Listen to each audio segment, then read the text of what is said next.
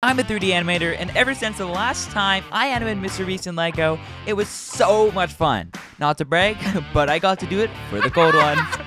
Therefore, I wanted to do it again. So I asked you for your ideas on what it could be, and I made it real. This was so much fun to make, so if you enjoy what you see here, make sure to subscribe to see more and help me out. Your ideas weren't half bad. Aside from all the Squid Game ideas, the rest were pretty useful. One of my favorites is where Mr. Beast goes to London in the Buckingham Palace and has 30 minutes to get in and steal the crown and escape without getting shot. It is literally the plot of the Minions movie. Therefore, I can't use that idea, as it would be plagiarism. Without any good ideas, our boy comedy TikTok man Eel, check him out on TikTok, he's really funny. You have 10 seconds to defuse the bomb. What time zone is that? It, it doesn't matter. 10 seconds is 10 seconds. I can't see through the phone, dumbass. Aha! Then how'd you know what? I- He came over on my YouTube to give me an amazing idea. All I can say to you right now is that it involves a Mr. Beast robot. So, with this amazing idea, with great comedy, I got straight to work. I quickly wrote up a script based on his original idea so that I can send it to my voice actors to do the voices of the characters needed. And the next day, guess what? I got them back and they were exactly what I needed. With that, I got to building the sets.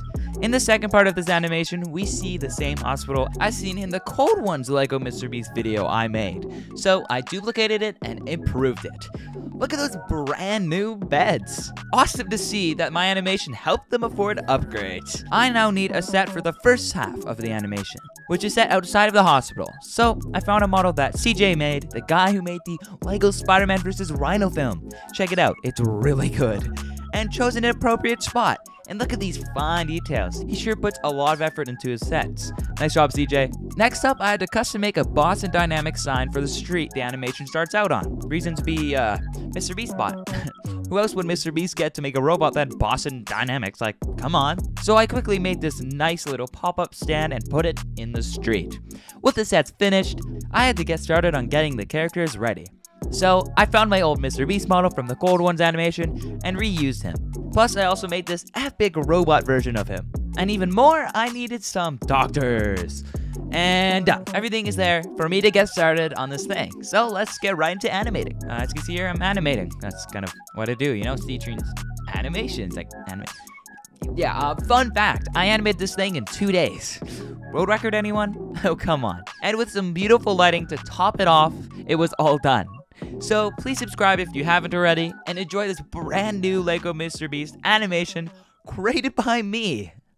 Today, I just bought a brand new robot custom made by Boston Dynamics. It is built to replace me so that I can retire peacefully. Hello, I am Mr. Beastbot. Let's test it out and see what it can do. According to this report, we have to be very, very careful. Even one paper cut could kill him. $100 bills for you, sir. This should cover the medical cost. Wow, I hope you enjoyed that. If we hit 6.9k likes, nice, I'll make another LEGO Mr. Beast video. So please share this with your friends and subscribe. And don't just leave yet. You know how my LEGO movie Where Are My Pants reanimated video got more than 5k likes. And in that video I said if I hit that, I'd make another video remaking a scene from some LEGO film. Well, the voted in footage has been chosen, and I've been hard at work and so has one other creator on that video. So stay tuned, and until then, have a good one.